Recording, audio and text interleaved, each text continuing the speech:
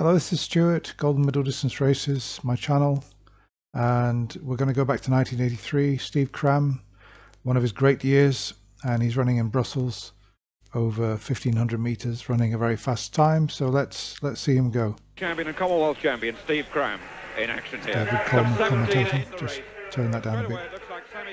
So you can see they've gone off very quickly. There's been talk of a world record attempt, and it'll be interesting to see whether they really go for those figures. So this really is Cram, probably 1983, the first year when you could say that he was, uh, well, obviously 82 he won the European Championships, but in 83 he really came into uh, top class form. It's a big field. Cram's in second there, three metres back from the pacemaker. So they go through 300 meters at about 40 seconds. Quite fast, quite fast. The pacemaker's unable to keep up that pace. You can see Cram closing down on him. Yeah, I thought so. 54.6.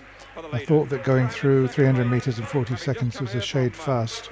Oslo, where he ran the world's fastest 800 meters this year. Cram in his famous yellow vest, often seen in those colours. Walker there seems to be near nearer the back. Some great records over the years on that Brussels track. Of course, there was Coe running uh, a fast time in 1981 yeah, over the mile. So the field's quite well stretched out, a good sign that it is fast. So they've gone through about in 138. So uh, 138, yeah, it's not a bad time. Let's see what it is at 800. He shared in some marvellous runs and he shared in the pacemaking. He's just the right talent to take it up if Sammy Yeah, 153. About just right, really, for that kind of record they're chasing. Of course, Ovett's the record holder, 331.36 at this particular time. Cram's now taken it on or has he? I think that he's just about.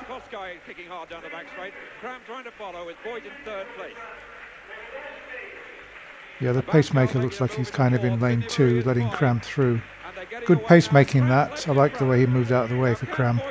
We've seen pacemakers impede Coe Ovett. So Bascal there is uh, putting pressure on Cram, which is good for the time going through in about 236. Same sort of time he went through in Nice in 85 and he ended up on 329. So same sort of style, Cram really going for it at 300 out. He's really opened up some distance between him and Abascal. 249. and he's right on schedule for the world record. And Cram lengthening at 200 metres and the rest is struggling. He's really, it just shows the difference in class. Look at the gap he's opened up. See, off a fast pace, the rest are floundering and he's going strong. He's looking pretty good coming around the home straight. He's grimacing, it's hurting.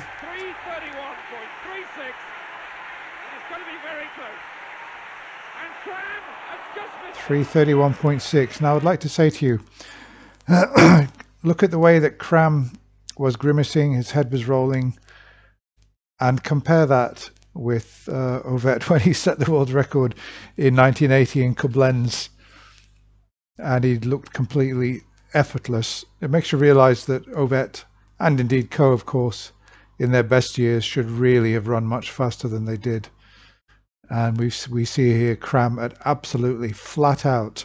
It doesn't look like he could have gone any faster. Um, you know, if the splits had been different, maybe he could have got closer to the record.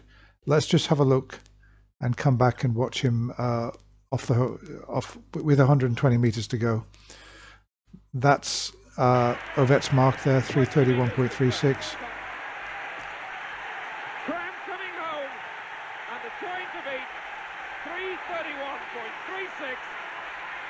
Beautiful uh, long leg action that he's got. Yeah, you can see he knows, he's seen, he really wanted, he really wanted to break the world record. But he had to run so much of his own there. It really took it out of him. And his attempt on the last lap to get the new world record figures, well, he deserved a little bit more help earlier than that. Cram storming away. He's feeling the pain.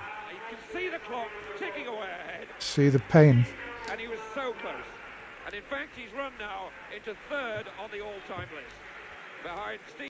Yeah, that's amazing. Uh, the difference, the difference there in, you know, just the way that Ovett set his world record and the way that Cram here ran slower by a few tenths. It didn't look to me like Cram could have run any faster on this evening. Whereas Ovett definitely that night, you know, I think he could have run inside 330. Okay, well, that's enough. Um, still a great run by Cram. Fantastic. 331.6.